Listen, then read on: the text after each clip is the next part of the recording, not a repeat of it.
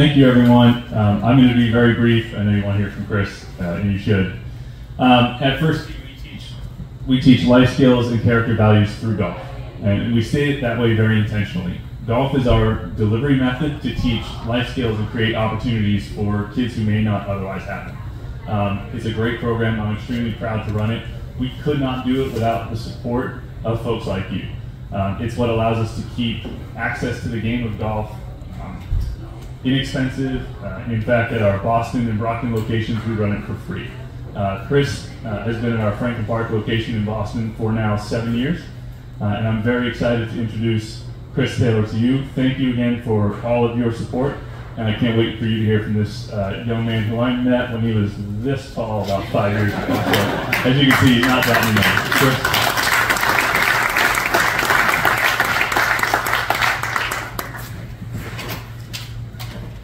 Hello, everyone. Um, thanks, Kyle. Um, and thank you to all of you. Um, my name is Christopher Taylor again, and um, I wanted to hear, I wanted to share tonight the impact that the Mineck Foundation has had on youth like me uh, as part of the first tee, as part of the first tee program of Massachusetts. I know that we've had a long-standing relationship. Um, so many of you may already know about our core values um, honesty, integrity, responsibility, respect, courtesy, sportsmanship, judgment, perseverance, and confidence. I don't want to give you a cookie cutter speech about the nine core values and some of the talking points that you hear from year to year. Instead, I would like to, I would like to invite you to consider yourself the shape that molds young people like me through another word, opportunity. You see, each time that we have a that you have a chance to be that mold, when you invest time and resources to cut into issues like youth development and family mobility, you're talking about people like me who stand here before you. By sharing your love of golf, and specifically your commitment to the youth in golf, you actually create opportunities for us to see a world that we may not have without you. It's not that families like mine aren't goal oriented or disengaged. My family members are strong supporters of our country as veterans and active military. My mom is civically engaged in our community. I help her quite a bit in things that empower people to move forward. My dad is a sports coach in addition to his professional career, just with a basketball co- with a basketball instead of a set of golf clubs. As a stepping stone scholar myself, and a recent addition to the Newman School family, I stand here as a proud cardinal who has just transferred from one of Boston's exam schools, where I earned the honor of being on the AB honor roll list at the first you.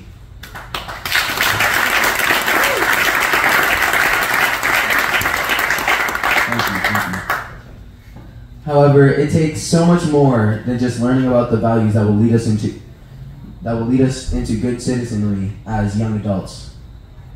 We need every opportunity in and outside of home to put them into action. The first tee does just that. With your support, we are able to do amazing once in a lifetime things like be at the US Open. As a standard bearer, I had an opportunity that people would kill for. Many did not get picked for the volunteer pool, but the first tee was there to serve and show that we are excited to be the future of the game. Some of us were able to watch others like me. Some oh, sorry. Some of us were able to watch, and others like me were able to show leadership and service. You would think that we were just carrying boards with names on them. However, it was so much more than that. We stood right next to some of the golf greats without even knowing whether or not they would win this event because every game is different. Hence, we learned what we do with each opportunity makes a difference. I have a picture at the beginning when I was standing near Will Zalatoris, one of the players on my favorite list from the from the very first putting practice. While I'm just as happy that Matt Fitzpatrick won, we felt the agony that one stroke had as our first tee class kept the clubhouse open to watch till the very end after our lesson. I took on double shifts in the early days of the Open because I just loved being out there with everyone, making a difference and representing my organization when they needed me most. However, I didn't get to walk in the final rounds because we had older first tee players who had earned these spots. There's value in learning when to step up and when to step back, to give space for each other so that we can all win the opportunity of a lifetime, where so many people cannot be there at all. In fact, I had many experiences after the U- afterward at the U.S. Senior Amateur at Kittansett and other local events.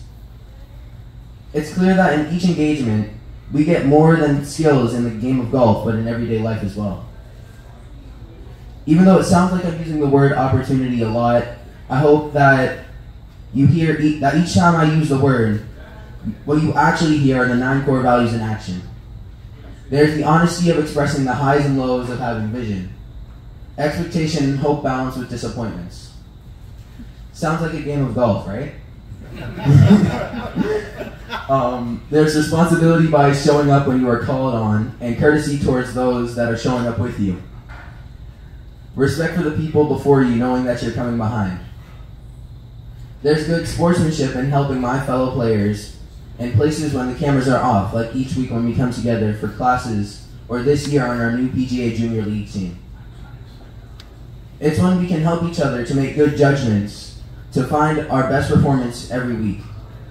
We can persevere through our good weeks and not so great weeks. We can do our best to help each other and grow as players while connecting as new friends and old friends alike on things like our skill building. Or whether our school lunches will get any better. I don't know if that's happening soon. Being on the course each week, season to season, not only gives us confidence as players, but a deeper understanding of our core values through opportunities like lessons, course actions, and service at tournaments. It's those experiences that allow us to develop a strong sense of integrity as we grow in so many ways as maturing teens and future adults. All of you at the Min at the Mineck Foundation are a huge part of that, one swing at a time. Thank you all.